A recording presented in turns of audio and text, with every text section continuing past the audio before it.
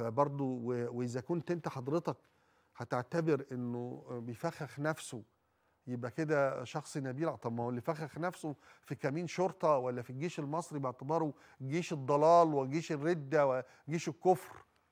ما هو نفس المنطق بيدافع عن أمة الإسلام بالمناسبة. نفس المستوى. مش عايز أقول أكتر من كده بقى. هم حماس نفسها اللي قتلت في الجيش المصري.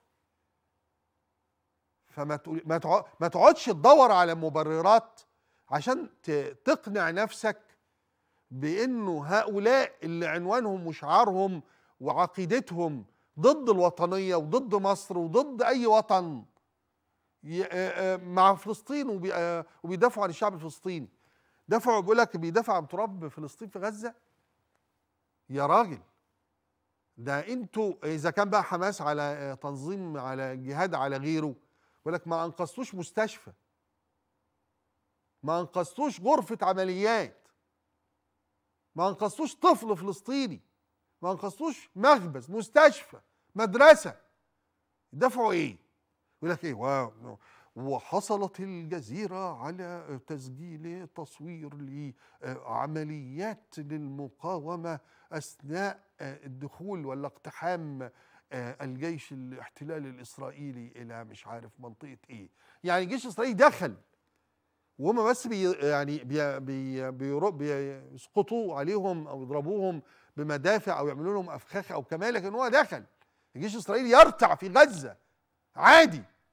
يقول لك بيدافع عن غزة دافع عن غزة. فين بتدافع عن غزة؟ البيوت اللي انهارت والمهدمة وكل ال- والموتى والقتلى والمصابين واللي تحت الركام وانت بتدافع عن غزة؟ فين اللي دافعت؟ يا عزيزي كن رجلا وقل أنك تدافع عن أنفاق غزة. ومش عارف تدافع عنها كلها كمان. إنما أنت لم تحمي طفلا واحدا في غزة. لم تنقذ طفلا واحدا في غزة. فك فكونك بقى تتطاول كمان على الشعوب العربية والدول العربية زي بالظبط الصبية اللي بيطلعوا معلمينهم يعني حفظوهم. الصبية وال الأطفال اللي بيخرجوا في وسط المحنة. وطبعا هي محنة رهيبة وهائلة و- و- و- وجبارة يعني. لكن بعض الصبية اللي بتسخنهم حماس أو بتمليهم حماس أو كبار السن أو غيرهم يعني أو الحمسويه أو يطلعوا يهتفوا قصاد شاشات التلفزيون ويقول لك وينك يا عرب؟ وينك يا عرب؟ وينكم يا عرب؟ فين العرب. شيء محزن جدا وبائس الحقيقة. يعني هو طبعا الأمر يعني مؤلم جدا لدرجة إنك لابد أن تتجاوز وتعفو يعني. لكن تتأمل برضو الفكرة. إيه اللي وينك يا عرب؟ على اعتبار العرب مقصرين والمفروض إنهم يروحوا ينقذوا الشعب الفلسطيني في غزة من العدوان الإسرائيلي. مش فاهم ليه ما بيقولوش وينكم يا حماس؟ بجد؟ ليه بجد؟ يعني ليه ما بيقولوش وينكم يا حماس؟ على اعتبار حماس عملت الواجب يعني ودمرت غزة جلبت العدو عشان يدمر غزة؟ مش فاهم. وينكم يا حماس ما بيقولوش ليه وينكم يا حماس؟ ما جنبك أهو في الشارع اللي جنبك أو في النفق اللي تحت رجلك. ما بيدافعش عنك ليه؟ وينك يا حماس؟ إنما وينك يا عرب؟ يعني المشكلة بقت العرب. وخد بالك دول برضو ال- ال- ال- ال- الفكرة الإسلامية دي كلها على اليسارية والنصرية كلها أكتر حاجة بيدينوا بيها رئيس السادات في مبادرة السلام يقول لك عمل صلح منفرد. طيب ماشي يعني غلطان اللي يعمل صلح منفرد. ممتاز. طب واللي يعمل حرب منفرد بقى ده؟ نعمل فيه إيه؟ يعني اللي عمل سلام منفرد. أصله ضيع القضية أصله مش عارف إيه أصله إيه أصل العرب إيه أصله فكك العرب أصل ماشي. هنمشي معاكم لغاية آخر الشارع. على نصة الشارع بقى هنسألكم السؤال ده. واللي يعمل حرب منفردة يبقى اسمه إيه؟ لا خد فيها رأي حد ولا تشاور فيها مع حد؟ طب أصله مش هيقدر يشاور حد ولا يقدر يسأل حد الح- إحنا خونة وعبيد أمريكا.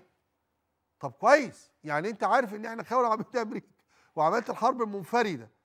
عايز من إيه بقى؟ من عبيد أمريكا والخونه عايز إيه حضرتك؟ إذا كان ده رأيك. قاعد طول الوقت تبتز الدول والشعوب والجيوش العربية عشان تشارك معركتك.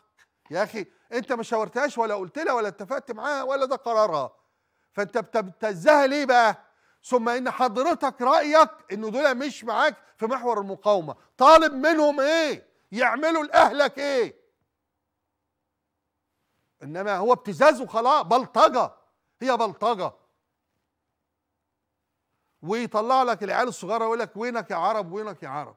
طب أقول لكم بجد بأمانة يعني بأمانة شديد وإحنا لو مش بعد 150 يوم قتل وإبادة مش عايزين نتكلم بصراحة يبقى خلاص بقى.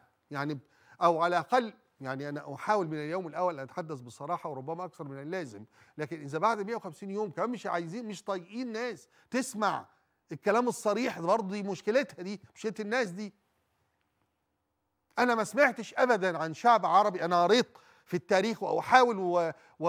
وطول الوقت الإنسان تلميذ ما يتعلمه طول الوقت. يعني مفيش أساتذة في الحكاية. فأنا مستعد إن أنا أتلقى من أي أساتذة عكس ما قلت. نفي ما أزعم. أنا ما شفتش شعوب عربية وهي بتواجه الاحتلال قاعدة تقول لك وينك يا عرب وينك يا عرب وينك يا عرب. أنا ما سمعتش خالص سعد الزغلول وهو وينك يا عرب ولا سمعت المقاومة المصرية في الشعبية ببورسعيد بتقول وينك يا عرب. ما سمعتش الكلام ده. ما سمعتش حتى الشعب الجزائري كل شوية يقول لك إيه؟ ويعني ما يموت مننا مليون شهيد. ما سمعتش أنا الشعب الجزائري بيقول وينك يا عرب؟ طبعا في دعم عربي طبعا في تأييد في كل حاجة. لكن وينك يا عرب؟ اللي هو تعالى حارب مكاني؟ أو تعالوا يا جيوش خشوا لي. يا ابني وينك يا عرب؟ إيه؟ ده العرب من اليوم الأول في القضية الفلسطينية. أنت كمان مش عارف تاريخك.